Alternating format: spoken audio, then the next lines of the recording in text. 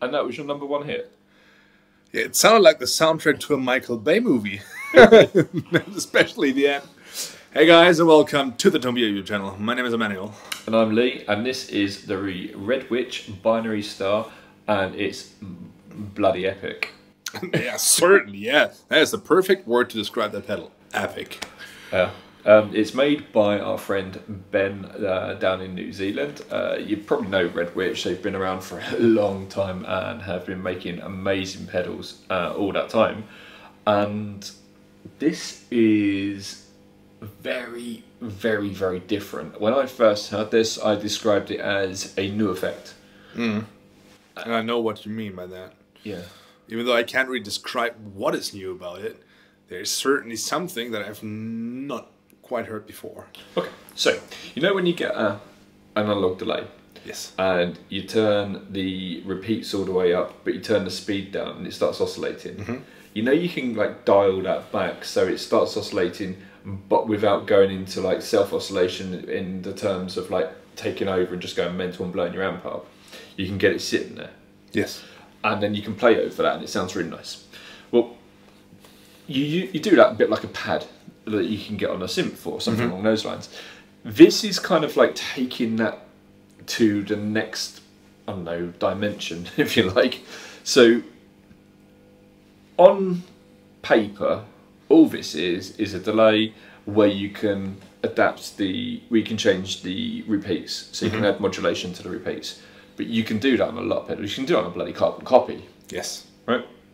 It, it, and no diss to a carbon copy. Carbon copies are great. Considering that that ambience and atmosphere, it's not. Uh, it's, a, it's, like a very different thing, you know. Like, yeah. Uh, well, check out the delay on its own. Though, if I turn these down and I put the mix about here, uh, you've got basically a, a, a delay.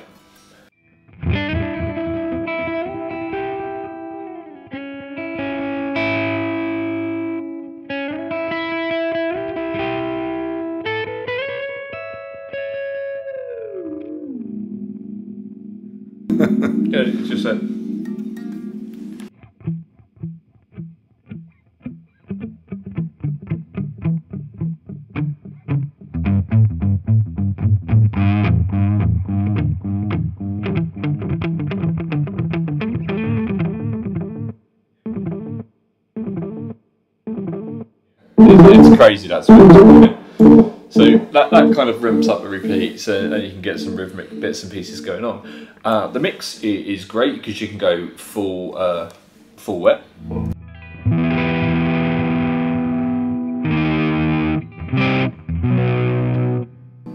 Full dry, which is the same as clean tone. But the modulation is where it starts getting really trippy because the depth, um, it's not subtle. And that is the uh, that's the beauty of it. So if we just if we try to be a little bit delicate with it, if you just I'll turn the velocity up. So the velocity is the speed of the modulation, and I'm just going to very gently turn this up if, as you play an A chord or something like that.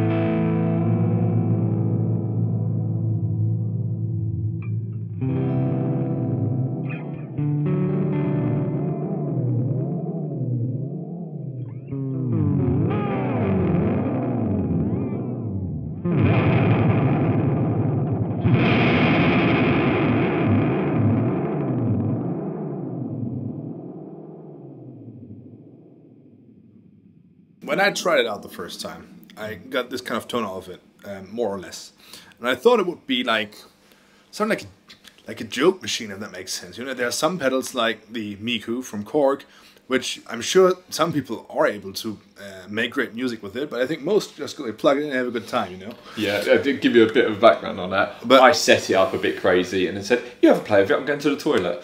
So I did that on purpose. and I, and I came back and I was like, yeah, like nice, but it's like not more than a toy. But then when I did these like um, um, non-diatonic chord progressions, uh, it started to like become a very nice tool to to just add that certain flavor to it that it needed. Um, so uh, I was like, I'm wondering if we can also make a chord progression which is not any spacey sounding. Like if we can, if it somehow can add a value to that. So I had this this thing before, which like the um, again like Alex Lifeson type of open chords and an F F sharp sharp major, like a chord progression which is like.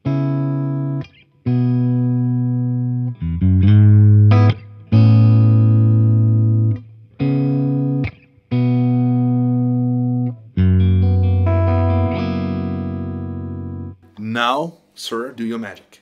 okay.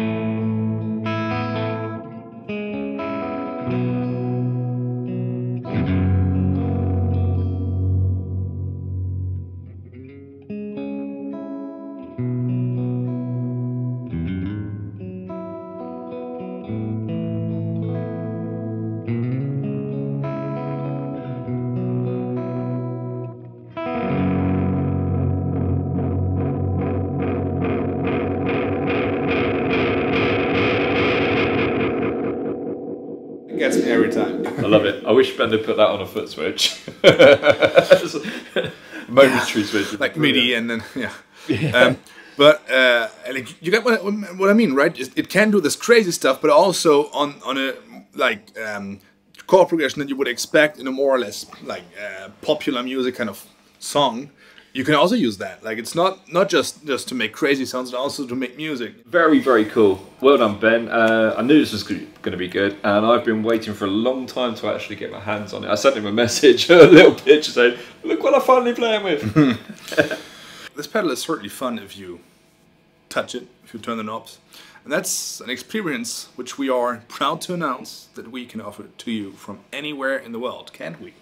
uh, yes, as long as you have an internet connection. Which you do because you're watching this video online. If you now use your internet connection to click on the link that you see above Lee's head right now, then uh, you're gonna have the pleasure to play with the knobs of this pedal online without moving anywhere. And the switches and everything. different playing styles, different amps, different settings. Whoa, full experience. and you can even send it into the full oscillation and everything like you uh, saw here. So full real recordings, just like uh, you've heard here. Go and try it. Bye bye. Later.